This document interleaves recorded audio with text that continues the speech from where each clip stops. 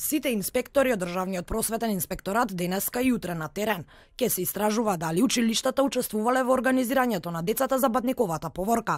Од Министерството за образование за телевизија 24 вела дека инспекторите ќе утврдуваат дали е прекршен членот 11 од Законот за основно образование, според кој во основните училишта се забранува политичко и верско организирање и действување, како и истакнување на партиски и верски обележја.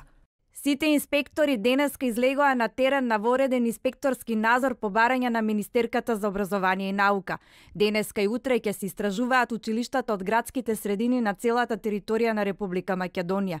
Целта е да се испита дали е прекрашен членот 11 од Законот за основно образование, односно дали постоело евентуално верско делување во училиштата. Велат од Министерството, во меѓувреме, фактурата за искористениот превоз од ИСП стигна до организацијата Бадникови поворки. Од Сдруженијето за телевизија 24 потврдија дека фактурата од околу 900 евра за искористените 18 автобуси пристигнала до нив.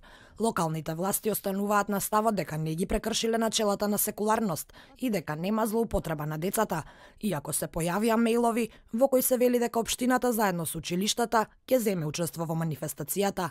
Градоначалникот на Киселавода Филип Темелковски вели дека општините и училиштата учествувале единствено во информирање на родителите.